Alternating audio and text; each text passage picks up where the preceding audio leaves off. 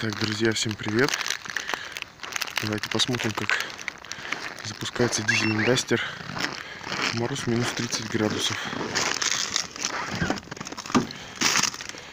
29.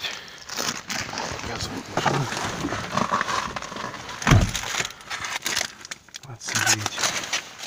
Ночью было около 30-31 по прогнозу. Стояло два дня.